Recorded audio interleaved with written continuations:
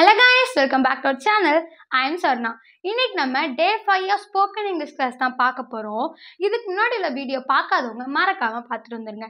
இப்போ வாங்க நம்ம டே ஃபைவ் கிளாஸ்க்குள்ளே போயிடலாம். இப்போ பாருங்க நம்ம டே ஃபைவ் கிளாஸில் என்ன பார்க்க போகிறோம் அப்படின்னா டபிள்யூஹெச் கொஸ்டின் சென்டென்ஸ் அதை என்ன டபிள்யூஹெச் கொஸ்டின் சென்டென்ஸ் அப்படின்னா என்ன? இது நம்ம எதுக்கு படிக்கணும்? இதை பற்றிலாம் தான் இப்போ உங்கள்கிட்ட சொல்ல போகிறேன் டபிள்யூஹெச் கொஸ்டின் சென்டென்ஸ்னால் டபிள்யூஹெச்சில் ஆரம்பிக்கக்கூடிய வேர்டு ஃபஸ்ட்டில் வரும். அப்படி உள்ள சென்டென்ஸ் எல்லாத்தையும் நம்ம டபிள்யூஹெச் கொஸ்டின் சென்டென்ஸ்னு சொல்லுவோம். இது எதுக்கு நம்ம படிக்கணும்? அப்படிங்கிற மொதல் கேள்வி இருக்கும். டபிள்யூஹெச் கொஸ்டின் சென்டென்ஸ் நம்ம எதுக்கு படிக்கணும்னா நம்ம டே டு டே கம்யூனிகேஷனில் நம்ம யூஸ் பண்ணுற நிறைய வார்த்தைக்கு நம்ம இந்த டபிள்யூஹெச் கொஸ்டின் தான் நம்ம வந்து யூஸ் பண்ணுவோம் ஓகேவா இப்போ எக்ஸாம்பிளுக்கு நார்மலாக புதுசாக ஒரு பர்சனை மீட் பண்ணுறீங்க அவங்கக்கிட்ட போய் உங்கள் பேர் என்ன நீங்கள் கேட்கணும். அதை நீங்கள் கேட்கணுன்னா கூட டபிள்யூஹெச் கொஸ்டின் சென்டென்ஸ் நீங்கள் படித்தா மட்டும்தான் கேட்க முடியும். ஏன்னா பாட் அப்படிங்கிறது டபிள்யூஹெச் கொஸ்டின் கீழே வந்துடுது இந்த மாதிரி நீங்கள் நிறைய கொஸ்டின்ஸ் வந்து இது மூலிமா கற்றுக்க முடியும். டபிள்யூஹெச் வேர்ட்ஸ் அப்படிங்கிறது நிறைய இருக்குது வாட்டு வேறு ஹூமு நிறையா இருக்குது நீங்கள் ஹூமுக்கு பதிலாக வாட்டையோ வாட்டுக்கு பதிலாக ஹவ் அந்த மாதிரி வேறு ஏதாச்சும் மாற்றிட்டீங்கன்னா மீனிங்கே மாறிடும் அப்போ நீங்கள் அந்த டபிள்யூஹெச் வேர்ட்ஸை நல்லா தெளிவாக கற்றுக்கிட்டீங்கன்னா உங்களால் அதை வச்சு ஈஸியாக நிறைய கொஸ்டின்ஸ் வந்து ஃபார்ம் பண்ண முடியும். நீங்கள் இங்கிலீஷில் கேட்குற கொஸ்டின்ஸில் எல்லாருமே அப்படி அசந்து போயிடுவாங்க ஸோ டிலே பண்ணாமல் இப்போ வாங்க நம்ம இதை டீட்டெயிலாக பார்த்துடலாம் இப்போ பாருங்கள் first what is your name நம்ம சின்ன பிள்ளையில நமக்கு முத முதல்ல சொல்லி கொடுத்த டபிள்யூஹெச் சென்டென்ஸே இதுதான். வாட் இஸ் யுவர் நேம் அப்போ உங்களுக்கு புரியுதா? டபிள்யூஹெச் கொஸ்டின் சென்டென்ஸ் வந்து எவ்வளோ முக்கியமான ஒன்று நம்ம அதை எவ்வளோ டீட்டெயிலாக கற்றுக்கணும்னு சொல்லிட்டு கவலைப்படாதீங்க. ரொம்ப ஈஸி தான் நீங்கள் ரொம்ப குயிக்காகவே இதை கற்றுக்கிடுவீங்க இப்போ வாங்க நம்ம டபிள்யூஹெச் கொஸ்டின் வேர்ட்ஸ் என்னெல்லாம் அப்படிங்கிறத பார்த்துடலாம் அது மூலியமா நம்ம நிறைய சென்டென்ஸையும் கற்றுக்கலாம் இப்போ நம்ம டபிள்யூஹெச் வேர்ட்ஸ் என்னெல்லாம்னு சொல்லிட்டு பார்க்க போகிறோம் மொத்தம் பன்னிரெண்டு வேர்ட்ஸ் இருக்குது இந்த பன்னிரெண்டு வேர்ட்ஸையும் நீங்கள் எங்கே எங்கே எந்த வேர்ட்ஸை யூஸ் பண்ணுன்ட்டு தெரிஞ்சுக்கிட்டீங்கன்னா நீங்கள் சூப்பராக டபிள்யூஹெச் சென்டென்ஸை மேக் பண்ணிடலாம். உங்களால் எந்த கொஸ்டின்னாலும் ஈஸியாக கேட்க முடியும். இப்போ வாங்க நம்ம ஃபஸ்ட்டு வேர்டு பார்த்துடலாம். ஃபஸ்ட்டு பாருங்கள் ஹூ ஹூனா யார் அப்படின்னு அர்த்தம். இப்போ ஒருத்தங்களை பார்த்து நீ யார்? அப்படின்னு நம்ம தமிழில் கேட்கணும்னு வைங்களேன். அதுக்கு நம்ம இங்கிலீஷில் எப்படி கேட்போம்? ஹூ ஆர் யூ அப்போ இந்த யாருக்கு பதிலாக நம்ம இங்கிலீஷில் ஹூ அப்படின்னு சொல்லிட்டு யூஸ் பண்ணுறோம் ஓகேவா அடுத்து பாருங்க. ஹூம் ஹூம்னா யாரை? யாரை உனக்கு பிடிச்சிருக்கு அப்படின்னு நம்ம கேட்போம்ல. அந்த மாதிரி யாரை அப்படின்னு சொல்கிறதுக்கு நம்ம ஹூம் அப்படின்னு நம்ம இங்கிலீஷில் யூஸ் பண்ணுறோம் அடுத்து பாருங்க. ஹூஸ் யாருடைய? இந்த சாக் பீஸ் யாருடையது? இந்த பென் யாருடையது? இந்த மாதிரி நம்ம கேட்போம்ல. அதுக்கு நம்ம ஹூஸ் வந்து யூஸ் பண்ணுவோம். ஹூஸ் இஸ் திஸ் பென்சில் அப்படின்னா இது யாருடைய பென்சில்னு அர்த்தம். அடுத்து பாருங்க வாட் வாட்னா என்ன அப்படின்னு தமிழில் அர்த்தம். உன் பெயர் என்ன அப்படின்னு நம்ம கேட்போம்ல. அதுக்கு நம்ம இங்கிலீஷில் எப்படி கேட்கலாம்? வாட் இஸ் யுவர் நேம் அப்படின்னு கேட்கலாம். அப்போ என்ன அப்படின்னு நம்ம தமிழில் கேட்குறதுக்கு பதிலாக இங்கிலீஷில் வாட் அப்படின்னு கேட்குறோம். ஓகேவா அதுக்கடுத்து பாருங்கள் ஒய் ஒய்னா ஏன் அப்படின்னு அர்த்தம். ஏன் இப்படி செஞ்ச அப்படின்னு நம்ம கேட்போம்ல தமிழில். அந்த மாதிரி ஏன் அப்படி யூஸ் பண்ணுவோம்ல அந்த ஏனுக்கு பதிலாக நம்ம இங்கிலீஷில் ஒய் அப்படின்னு சொல்லுவோம். ஒய் ஆர் யூ லேட் நீ எதுக்கு லேட்டாக வந்த? நீ ஏன் லேட்டாக வந்த? அப்படின்னு நம்ம கேட்போம்ல. அதுக்கு நம்ம இங்கிலீஷில் ஒய் வந்து யூஸ் பண்ணுறோம் ஓகேவா அடுத்து விச் விச்னா எந்த? அப்படின்னு அர்த்தம். இப்போது இந்த நிறைய பழம் இருக்குது அதில் உனக்கு எந்த பழம் பிடிச்சிருக்குன்னு கேட்போம்ல?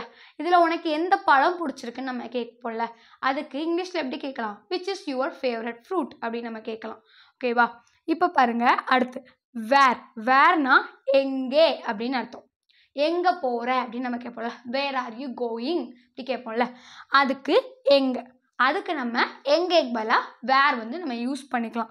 அடுத்து பாருங்கள் வென் எப்பொழுது? எப்போ போகிற இன்னைக்கு போறியா? நாளைக்கு போறியா? அப்படின்னு கேட்போம்ல. அப்போ எப்பொழுதுங்கிறதுக்கு பதிலாக நம்ம வென்னு வந்து யூஸ் பண்ணிக்கலாம். ஓகேவா வென் த ட்ரெயின் அரைவ்ஸ் அப்படி கேட்போம்ல. எப்போ வரும்? அப்படி கேட்போம்ல. அதுக்கு நம்ம வென் வந்து யூஸ் பண்ணிக்கலாம்.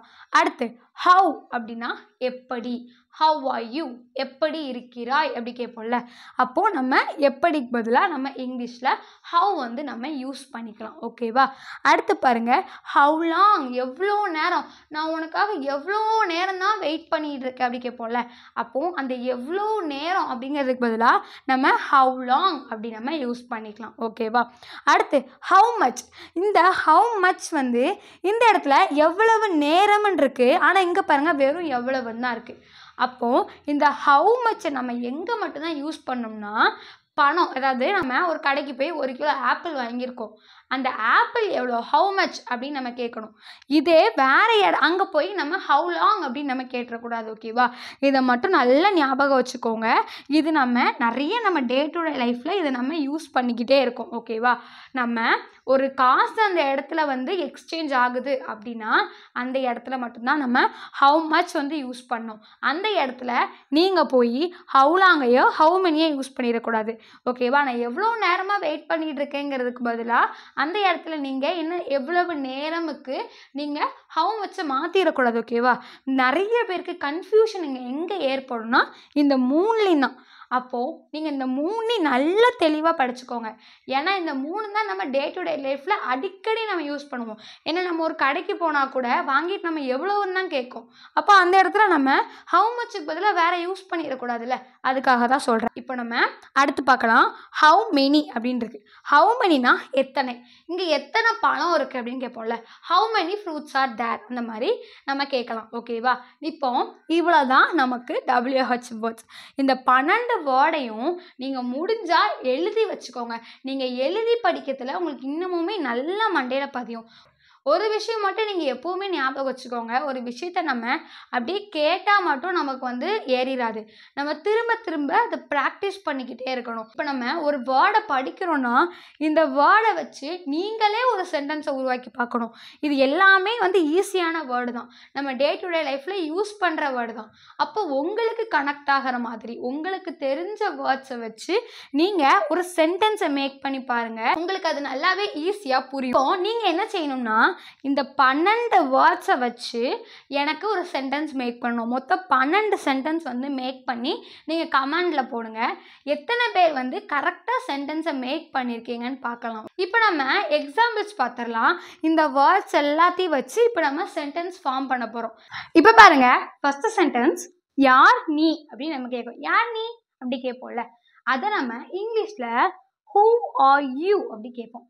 இப்போ ஃபஸ்ட்டு சென்டென்ஸில் நம்ம ஈஸியாக சொல்லிட்டோம். கொஸ்டின் சென்டென்ஸ்னாலே நம்மளோட வேர்ப் வந்து ஃபஸ்ட்டு வந்துடணும் ஆனால் டபிள்யூஹெச் கொஸ்டின் சென்டென்ஸில் அந்த வெர்புக்கும் முன்னாடி ஃபஸ்ட்டு எப்போவுமே இந்த டபிள்யூஹெச் வேர்டு தான் வந்து இருக்கும். ஹூ ஆர் யூ ஓகேவா யார் நீ அப்படின்னு நம்ம கேட்குறதுக்கு ஹூ ஆர் யூ அப்படின்னு நம்ம கேட்போம். ஓகேவா அடுத்து பாருங்க. இது யாருடைய பேனா? இந்த பெண் யாருடையது அப்படின்னு நம்ம கேட்குறோன்னா இந்த இந்த சென்டென்ஸ் பாருங்க. ஃபஸ்ட்டு ஸ்டார்டிங்கில் இதுதான் இருக்கு. ஓகேவா யாருடையங்கிறது சென்டரில் தான் இருக்கு. அதை பார்த்துட்டு இதுக்கு பதிலாக திஸ் யாருடைய ஹூஸ் பென்னுன்ட்டு இதை நீங்கள் அப்படியே டிரான்ஸ்லேட் பண்ணி திஸ் ஹூஸ் பென்னு நீங்கள் எழுதிட்டீங்கன்னா இது வந்து தப்பு. இப்படி வந்து யூஸ் பண்ணவே இப்படி எழுதிடவே எழுதிடாதீங்க தமிழ் லாங்குவேஜோட ஸ்ட்ரக்சர் வேற இங்கிலீஷோட ஸ்ட்ரக்சரே வேறு. அது வேறு லாங்குவேஜ் இது வேறு லாங்குவேஜ் நமக்கு தமிழ் தெரியும் அப்படிங்கிறதுனால நம்ம தமிழ் வழியாக கற்றுக்குறோம் நம்மளுக்கு நல்லாவே தமிழ் தெரிஞ்சிருச்சு. நம்ம நம்ம லாங்குவேஜில் மாஸ்டர் ஆகிட்டோம் பேச முடியுது. ஆனால் இன்னொரு மொழி நம்மளால் பேச முடியல அப்படிங்கிறதுக்காக ஜஸ்ட் ஹெல்ப் பண்ணுறதுக்காக மட்டும்தான் நம்ம இந்த தமிழ் அப்படிங்கிற லாங்குவேஜை யூஸ் பண்ணுறோமே தவிர இதை நம்ம அப்படியே டிரான்ஸ்லேட் பண்ணக்கூடாது. இதுக்குன்னு செட் ஆஃப் ரூல்ஸ் இருக்குது அப்படி தானே தமிழுக்கு நமக்கு எப்படி நிறைய கிராமர் ரூல்ஸ் இருக்கோ அதே மாதிரி தான் இங்கிலீஷ்க்கும் கிராமர் ரூல்ஸ் இருக்குது அதுபடி நம்ம டபிள்யூஹெச் வேர்ட்ஸை எப்போவுமே ஃபஸ்ட்டில் தான் யூஸ் பண்ணணும். ஓகேவா பாருங்கள் இது யாருடைய பேனா அப்படின்னா ஹூஸ் இஸ் திஸ் பென் அப்படின்னு அர்த்தம். ஓகேவா நீங்கள் இப்படி தான் கேட்கணுமே தவிர மாற்றி கேட்டக்கூடாது இப்போது நம்ம எக்ஸசைஸ் பார்த்துடலாம் இந்த எக்ஸசைஸ் எல்லாமே நீங்கள் தான் செய்ய போகிறீங்க உங்களுக்கு இருக்கிற எல்லா டவுட்ஸுமே இப்போ கிளாரிஃபை ஆயிரும் பாருங்கள் இப்போ பாருங்கள் ஃபஸ்ட்டு சென்டென்ஸ் எத்தனை பேனாக்கள் அங்கு உள்ளது அப்படின்னு இருக்கு இது டபிள்யூஹெச் சென்டென்ஸாக நம்ம முதல்ல பார்க்கணும். ஃபஸ்ட் இதில் எத்தனை அப்படின்னு வந்துருச்சு. ஓகேவா நம்ம டபிள்யூஹெச் சென்டென்ஸ்னு எழுதி போட்டு பார்த்தோம்ல அதில் எத்தனைக்கு நம்ம இங்கிலீஷில் எப்படி சொல்லுவோம்? ஹவு மெனி அப்படின்னு சொல்லி ஹவு மெனி அப்படின்னு எழுதணும் ஓகேவா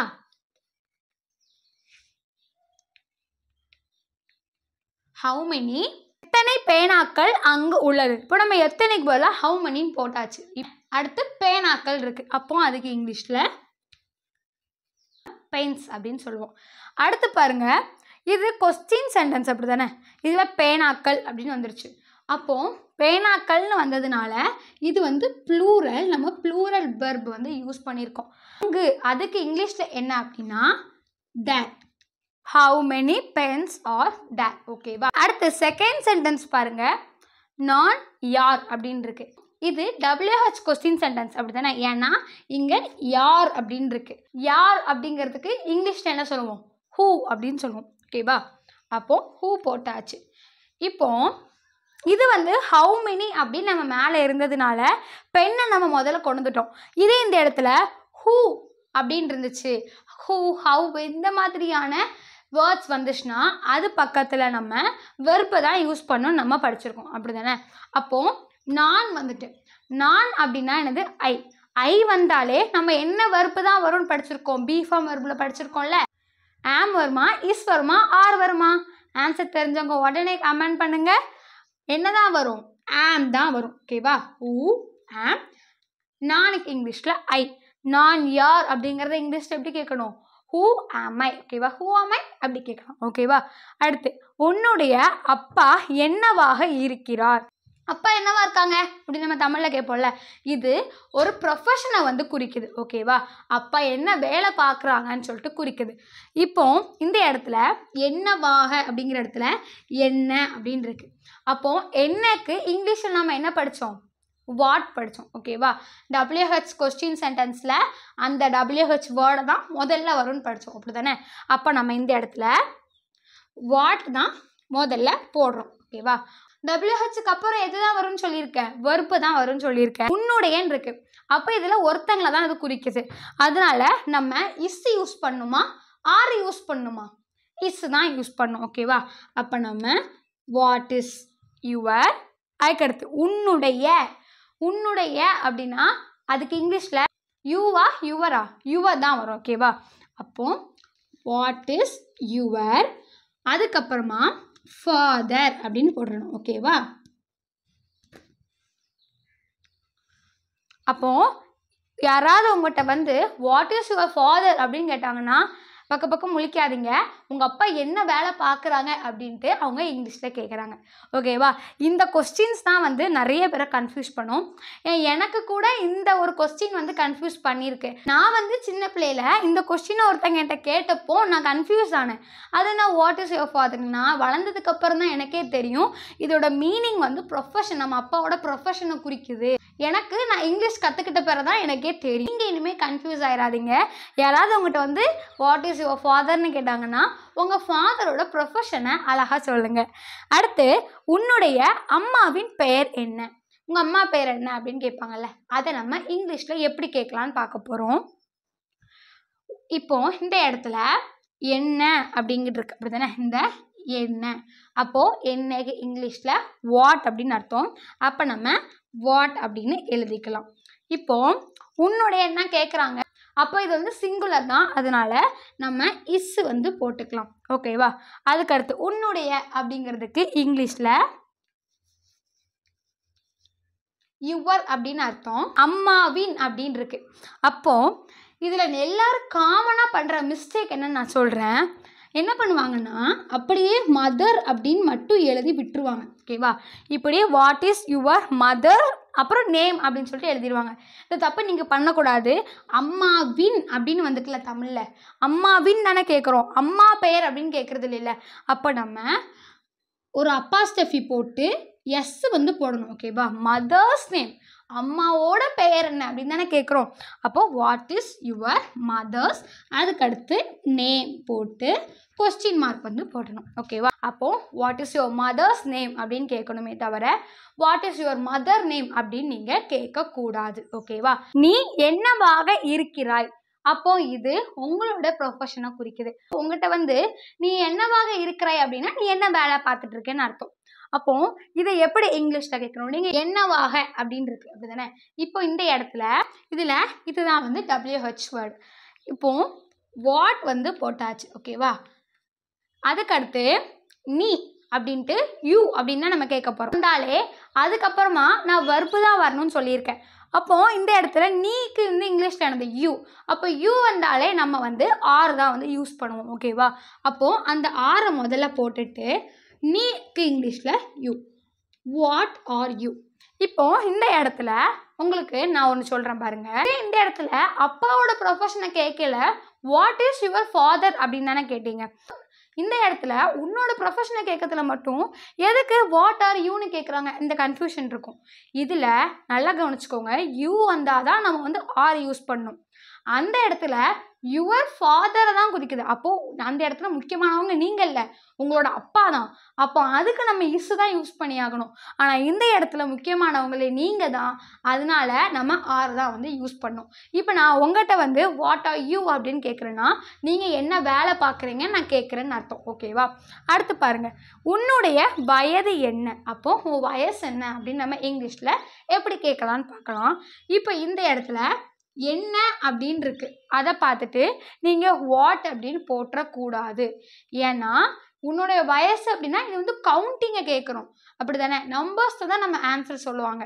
அப்போ இந்த இடத்துல நம்ம ஹவு தான் வந்து யூஸ் பண்ணோம் ஓகேவா இந்த இடத்துல நம்ம ஹவு தான் யூஸ் பண்ணும் ஹவு ஓல்டு வயசுக்கு நம்ம இங்கிலீஷில் ஓல்டு அப்படின்னு தான் சொல்லுவோம். அப்போது ஹவு ஓல்ட் ஆர் யூ உன்னுடைய வயசு தானே கேட்குறோம் அப்போது ஹவ் ஓல்ட் ஆர் யூ அப்படின்னு நம்ம எழுதுகிறோம் ஓகேவா டபிள்யூஹெச் கொஸ்டின் சென்டென்ஸ் வந்து இவ்வளோ தான் இது ரொம்ப ஈஸி தான்.